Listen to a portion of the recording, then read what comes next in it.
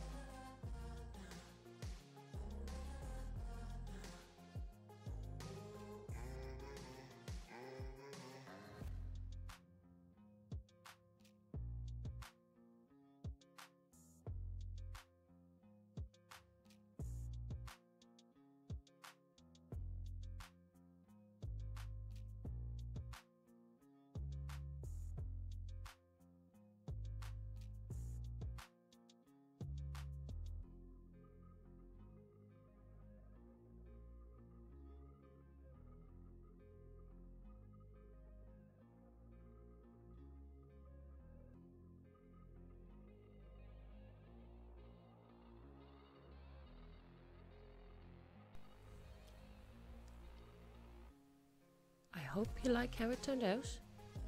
Um, I'd love to hear your feedback about it.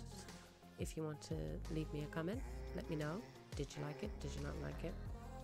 What do you think? Um, it's been a little while since I painted in acrylic, so I felt I was a little bit rusty. All in all, I really liked the canvas. I am so surprised because I've tried a good few canvas boards and they've all warped. Like, seriously turned into a U. They warped that bad. And this one didn't.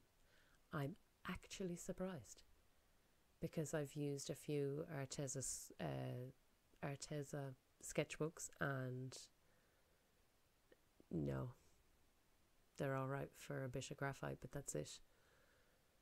So I'm actually really surprised by these. Have you used them before? You'll have to let me know this too. Thank you for watching. I hope you enjoy the rest of your day. And hopefully, I'll see you again next time. Take care. Bye.